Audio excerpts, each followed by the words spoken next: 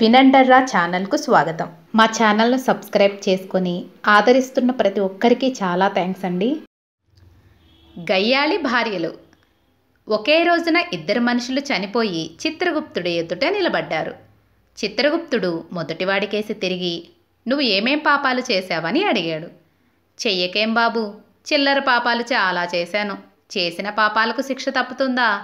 ఎంతకాలం నరకంలో ఉండాలో సెలవియ్యండి అన్నాడా మనిషి. చిత్రగుప్తుడు నవ్వి నువ్వు గయ్యాలి కామమ్మ మొగుడివి కదూ? నువ్వు అనుభవించవలసిన నరకమంతా భూమి మీదనే అనుభవించావు. నువ్విక స్వర్గానికి వెళ్ళొచ్చు అన్నాడు. దేవతలు వచ్చి ఆ మనిషిని స్వర్గానికి తీసుకుపోయారు. తర్వాత రెండోవాడు చిత్రగుప్తుడితో అయ్యా ఒక్క గయ్యాలి భార్యతో కాపురం చేసిన వాడికే మీరు స్వర్గం ఇప్పిస్తే నాకేమిప్పిస్తారో చెప్పండి. నేను వరుసగా ముగ్గురు భార్యలను చేసుకున్నాను. ముగ్గురు ముగ్గురే అన్నాడు. చిత్రగుప్తుడు యమభటులను పిలిచి ఇతన్ని నరకానికి తీసుకుపోండి అన్నాడు. అయ్యా అన్యాయం అన్నాడా మనిషి. ఒరే స్వర్గం అదృష్టహీనుల కోసం ఏర్పాటైంది కానీ బుద్ధిహీనుల కోసం కాదు అని చిత్రగుప్తుడు జవాబిచ్చాడు. అందరికీ ఒకటే న్యాయం. ఒక గ్రామాధికారి వద్ద ఒక పశువుల కాపరి ఉండేవాడు. వాడికి ఒక ఆవు ఉండేది. వాడు తన ఆవును తన యజమాని ఆవులతో పాటు రోజు మేతకు తోలుకుపోతూ ఉండేవాడు. ఒకనాడు దురదృష్టవశాత్తు గ్రామాధికారి ఆవు ఒకటి పశువుల కాపరి ఆవుతో తలపడింది. రెండూ పోట్లాడుకున్న మీదట పశువుల కాపరి ఆవు గ్రామాధికారి ఆవును చంపేసింది. పశువుల కాపరి వెంటనే గ్రామాధికారి వద్దకు వెళ్ళి అయ్యా మీ ఆవు నా ఆవుతో పోట్లాడి చంపేస్తే న్యాయంగా దానికి పరిహారం ఏమిటి అన్నాడు.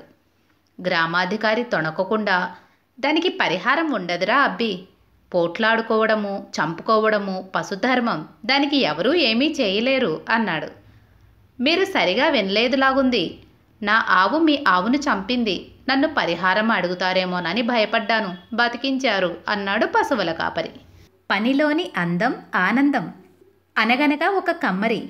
ఒకసారి అతను ఒకే కొలిమిలో ఒకే ఇనుప ముక్కతో రెండు నాగళ్ళు చేశాడు. మొదటి నాగలి నన్ను ఎవరికైనా అమ్మే అక్కడ పొలం దున్ని పండిస్తానంది. రెండవది నన్ను అమ్మద్దు నీ దగ్గరే ఉంటా నేనేం పని చేయలేను అంది. వాటి కోరిక ప్రకారమే మొదటి నాగలిని రైతుకు అమ్మేశాడు.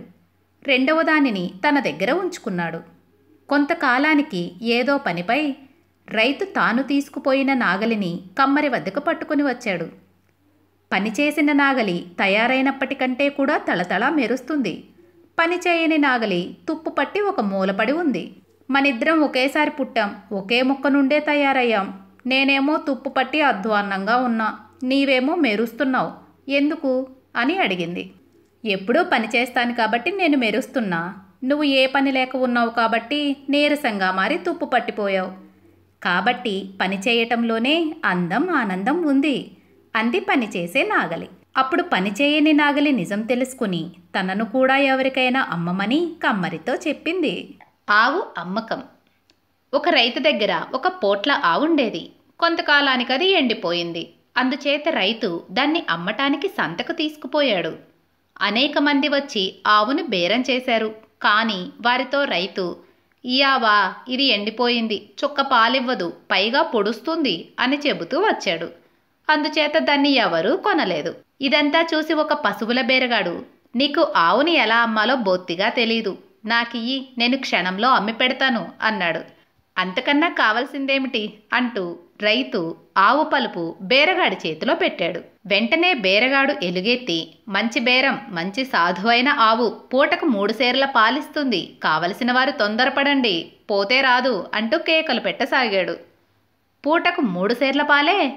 అంత పాలిచ్చే మంచి ఆవును నేను మాత్రం దేనికి అమ్ముతాను? అంటూ రైతు బేరగాడి చేతిలో నుంచి పలుపు లాక్కొని ఆవుని ఇంటికి తీసుకుపోయాడు. ఇంకా మంచి మంచి కథలను వినదలుచుకుంటే ఈ ఛానల్లోని పాత వీడియోలను సందర్శించగలరు. మీకు మా కథలు నచ్చినట్లయితే లైక్ చేసి మీ ఆత్మీయులకు షేర్ చేయగలరు. మీ విలువైన సూచనలు సలహాలను కామెంట్స్ రూపంలో తెలియజేయగలరు.